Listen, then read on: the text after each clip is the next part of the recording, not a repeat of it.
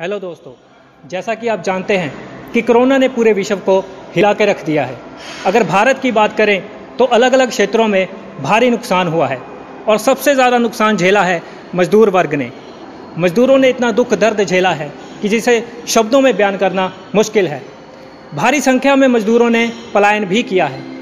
तो दोस्तों, आज आपको ले चलते हैं एक ऐसी कंपनी में जिसका नाम है एंडिको पावर टूल्स इंडिया दोस्तों ये कंपनी पावर टूल्स बनाने का काम करती है तो आइए जानते हैं यहाँ के कर्मचारियों से कि उनका इस कंपनी के बारे में क्या कहना है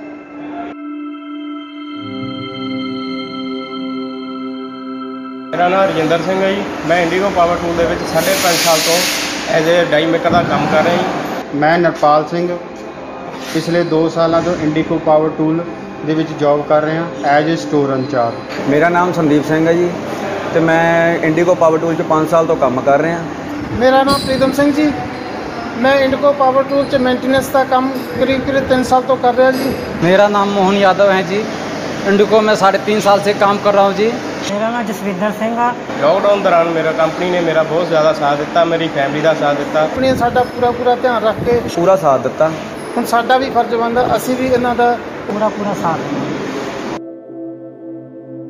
ਸਤਿ ਸ਼੍ਰੀ ਅਕਾਲ ਜੀ ਸਾਰਿਆਂ ਨੂੰ। ਮੇਰਾ ਨਾਮ ਸੁਖਿੰਦਰ ਸਿੰਘ।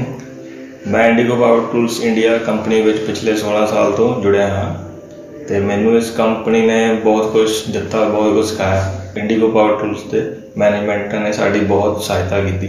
ਮੇਰਾ ਨਾਮ ਗਗਨਦੀਪ ਸਿੰਘ ਹੈ। ਮੈਂ Indigo power tools last 15 years ਤੋਂ ਕੰਮ ਕਰ ਰਿਹਾ। ਸਾਨੂੰ ਟਾਈਮ ਟੂ ਟਾਈਮ ਕਾਲ ਕਰਕੇ ਪੁੱਛਦੇ ਸੀ ਸਾਡੀ ਹੈਲਥ ਬਾਰੇ, ਸਾਡੀ ਨੀਡਸ ਬਾਰੇ। ਈਵਨ ਕਿ ਸਾਡੀ ਫੈਮਿਲੀ ਦੀ ਹੈਲਥ ਬਾਰੇ ਵੀ ਸਾਰਾ ਉਹਨਾਂ ਨੇ ਧਿਆਨ ਰੱਖਿਆ ਤੇ ਇਦਾਂ ਹੀ ਮੈਨੂੰ ਜਿਵੇਂ ਇੱਥੇ 15 16 ਸਾਲ ਹੋ ਗਏ, ਮੇਰੇ ਲਈ ਤਾਂ ਹੁਣ ਇਹ ਕੰਪਨੀ ਘੱਟ ਇੱਕ ਫੈਮਿਲੀ ਜ਼ਿਆਦਾ ਹੈ।